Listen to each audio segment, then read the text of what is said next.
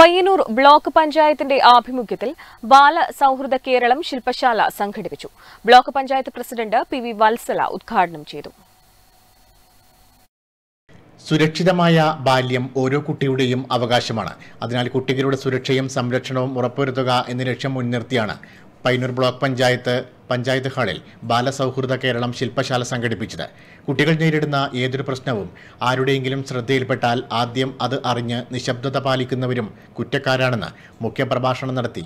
കേരള സംസ്ഥാന ബാലാവകാശ സംരക്ഷണ കമ്മീഷൻ അംഗം അഡ്വക്കേറ്റ് ശ്യാമള ദേവി പറഞ്ഞു.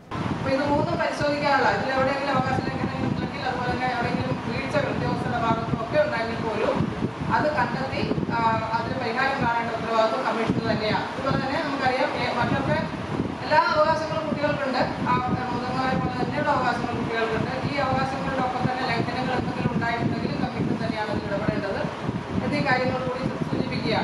ചടങ്ങിൽ block panchayat vice president M V Appukuttan അധ്യക്ഷനായി. ജില്ലാ പഞ്ചായത്ത് മെമ്പർ എം രാഘവൻ മുഖ്യാതിഥിയായി. S I Rameshan K Nandini advocate K P Rameshan തുടങ്ങിയവർ സംസാരിച്ചു. അമൽജിത്ത് തോമസ് സജീന്ദ്രൻ സോജിയ തോമസ് എന്നിവർ ക്ലാസ് എടുത്തു. Network news Payyanur.